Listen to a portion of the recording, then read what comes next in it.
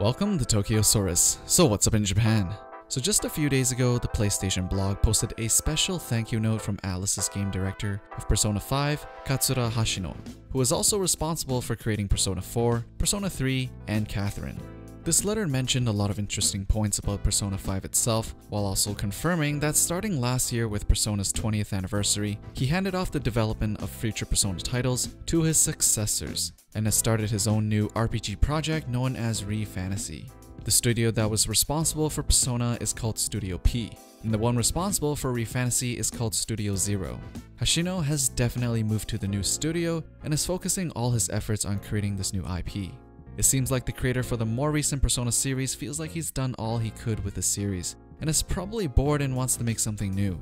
Now with his awesome track record, especially with Persona 5, his level is now elevated to one at Atlus where he is granted creative freedom to just make anything he wants. But back to the letter itself. He mentioned that he created Persona 5 with a very Japanese story to it, even adding some political aspects to it, so he wasn't very sure how the Western audience would respond to that. He thinks that traditional Japanese superhero stories are usually about fighting off invaders that come from outside their society, whereas Western superheroes are usually about fighting villains and misfits that come from within its own society, making the audience sometimes feel like, oh, this villain could have easily been me. He references the Joker from Batman and how Joker can also make some valid points that resonates with normal people at some levels. Persona 5 is a superhero story that fights villains that come from within its own society.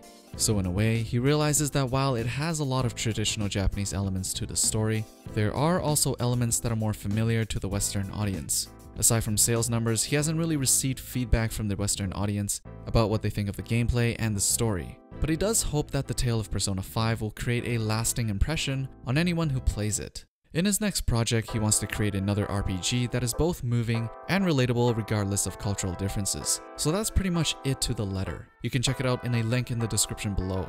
With what we have so far, we know that the next project is going to be an RPG for Hashino, but they are still in early development stages, and they haven't even determined the platform they're going to make the game for.